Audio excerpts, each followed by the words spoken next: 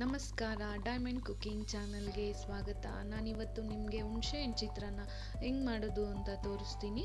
ಬೆಳಗ್ಗೆ ಬ್ರೇಕ್ಫಾಸ್ಟ್ಗೆ ತುಂಬ ಚೆನ್ನಾಗಿರುತ್ತೆ. ನೋಡಿ ಫಸ್ಟು ನಾನು ಅರ್ಧ ಸ್ಪೂನ್ ಮೆಂತ್ಯ, ಅರ್ಧ ಸ್ಪೂನ್ ಸಾಸಿವೆ.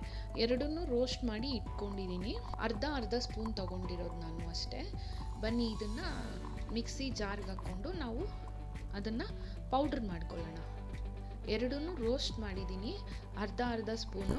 ನೋಡಿ ಪೌಡ್ರ್ ಆಗಿದೆ ಇದು. ಮೆಂತ್ಯ ಮತ್ತು ಸಾಸಿವೆ. ನಾನು ಎರಡು ಈರುಳ್ಳಿ ತೊಗೊಂಡಿದ್ದೀನಿ. ಮೆಣಸಿನ್ಕಾಯಿ ಕೊತ್ತಂಬರಿ ಸೊಪ್ಪು ಕರ್ಬೇವಿನ ಸೊಪ್ಪು. ಇದೆಲ್ಲ ಒಗ್ಗರಣೆಗೆ. ಖಾರ ಜಾಸ್ತಿ ಬೇಕು ಅಂದರೆ ಇನ್ನು ಮೂರು ಮೆಣಸಿನ್ಕಾಯಿ ನೀವು ಜಾಸ್ತಿ ತೊಗೊಬೋದು. ಇಲ್ಲಿ ಖಾರ ಕಮ್ಮಿ ಅಂದರೆ ಮೂರು ಇಲ್ಲಾಂದರೆ ನಾಲ್ಕು ಮೆಣಸಿನ್ಕಾಯಿ ತೊಗೊಂಡ್ರೇನು ಆಯಿತು.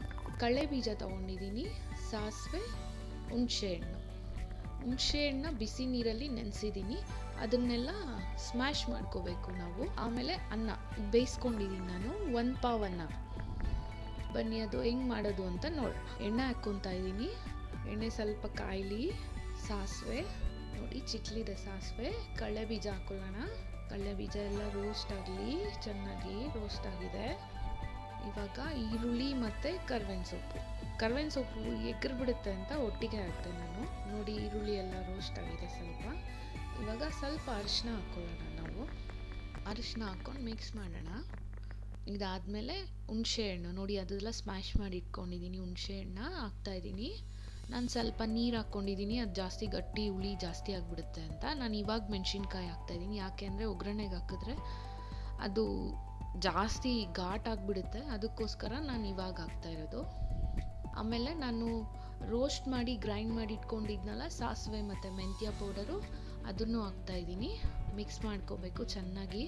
ಮತ್ತು ಉಪ್ಪು. ನೋಡಿ, ಆಗಿದೆ ಇದು. ಗಟ್ಟಿಯಾಗಿದೆ ಚಿತ್ರಾನ್ನ ಗೊಜ್ಜು, ಹುಣಸೆಹಣ್ಣು ಚಿತ್ರಾನ್ನ ಗೊಜ್ಜು ರೆಡಿಯಾಗಿದೆ ಕೊತ್ತಂಬರಿ ಸೊಪ್ಪು ಹಾಕ್ಕೊಂಡು ಇನ್ನೊಂದು ಸತಿ ಮಿಕ್ಸ್ ಮಾಡ್ಕೊಳ್ಳೋಣ.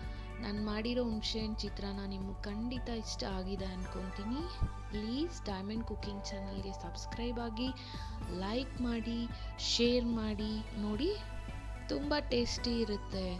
ಬೆಳಗ್ಗೆ ಬ್ರೇಕ್ಫಾಸ್ಟ್ಗೆ ತುಂಬ ಚೆನ್ನಾಗಿರುತ್ತೆ. ಪ್ಲೀಸ್ ಡೈಮಂಡ್ ಕುಕ್ಕಿಂಗ್ ಚಾನಲ್ಗೆ ಸಬ್ಸ್ಕ್ರೈಬ್ ಮಾಡಿ.